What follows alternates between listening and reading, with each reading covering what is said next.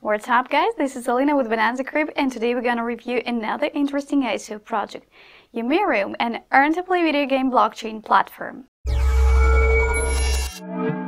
One of the areas that seem most ripe for blockchain implementation is the video game industry. While thriving and hugely popular, it also suffers from a number of major problems that prove especially humbling for the small or indie game developers, who much of its creative vanguard. Crowdfunding and digital distribution are two vital mechanisms behind the current golden age of video games, but both are generally conducted through third-party platforms that require large fees. Large companies are difficult to compete with in marketing. They are also much better equipped for the digital rights management arms race with video game pirates.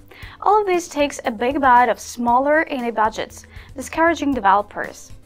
Decentralization through blockchain technology could be the solution to at least some of those problems. Subdream Studios, a social VR game developer, offers one way in which this could be done.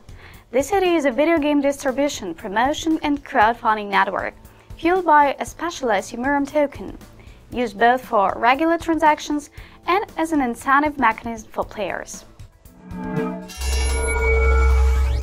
Yumerium will provide a number of promotion options to developers who choose to add their mobile or PC games to its store.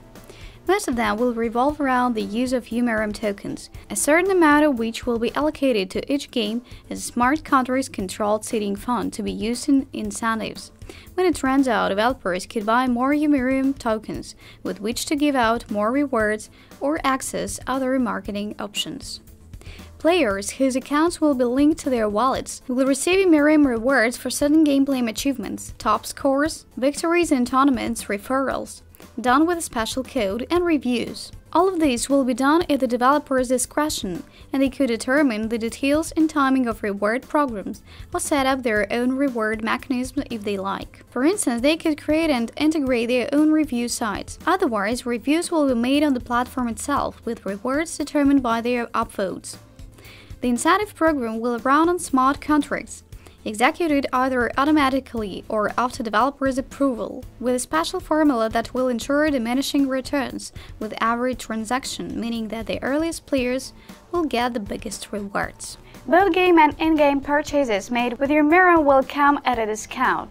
Developers will be able to offer exclusive collectibles and limited edition copies to players who would be able to display them to others, along with their verified achievements and stats.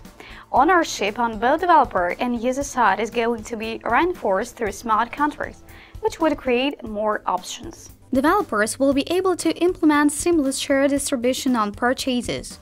Players will be able to sell their licenses on Yumerium's second-hand game market, with part of the profit going to developers.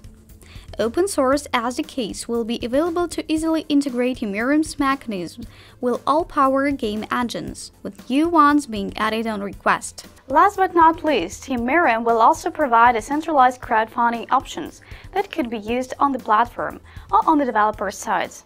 All contributions will be handled through smart contracts, ensuring both reliability and transparency in all transactions. Optionally, developers could implement gradual transfers in which they will receive a part of the funds for reaching every milestone, proving their commitment to going all the way and gaining the contributors' trust. Yumerium offers its users all the usual advantages of blockchain technology.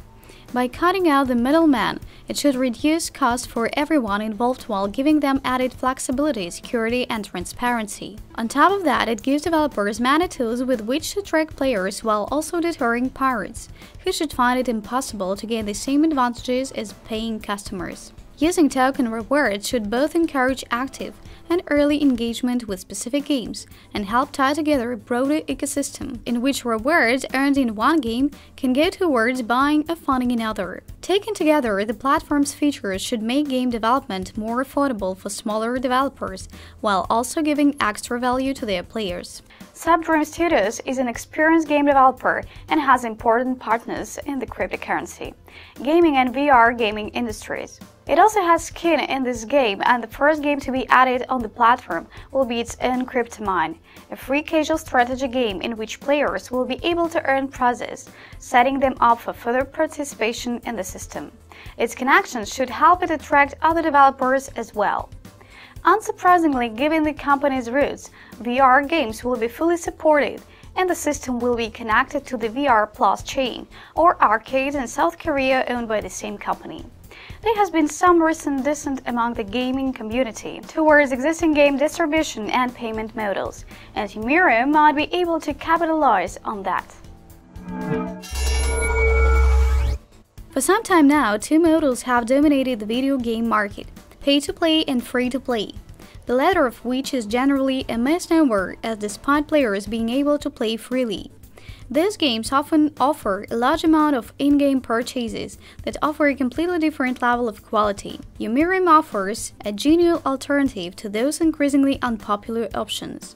Earn to play, in which players will not only invest their money in the product but also get something back that could be reinvested elsewhere. It is an interesting proposition, but of course, its success is far from assured. In addition to attracting enough developers and players, Yumerium will also have to make sure that its token will be worth something for its incentive models to be worth anything. It may also want to keep an eye on competing blockchain based game platforms that offer comparable advantages.